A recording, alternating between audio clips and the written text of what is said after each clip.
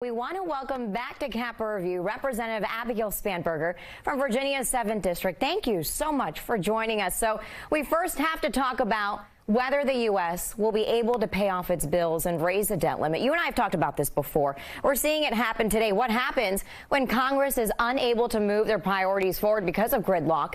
Are you worried about the direct impact this could have on your constituents and the American people?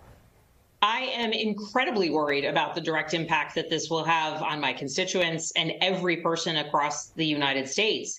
Uh, the very risk of putting the full faith and credit of our country uh, kind of in the crosshairs uh, is is just unthinkable. The impact would be uh, just immeasurable, frankly. Um, and I was out and about in my district. I was out in Madison County last weekend. I heard directly from cattle producers who were talking about the last time uh, that our credit rating was degraded back in 2011, what that meant.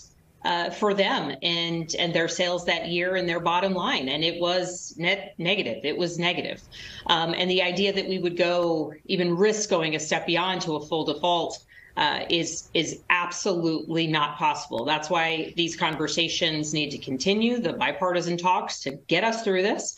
Uh, and I will quote Mitch McConnell here, uh, the Republican Senate leader: "We cannot allow the United States of America to default." I couldn't agree with him more, uh, and that's what I'm working towards.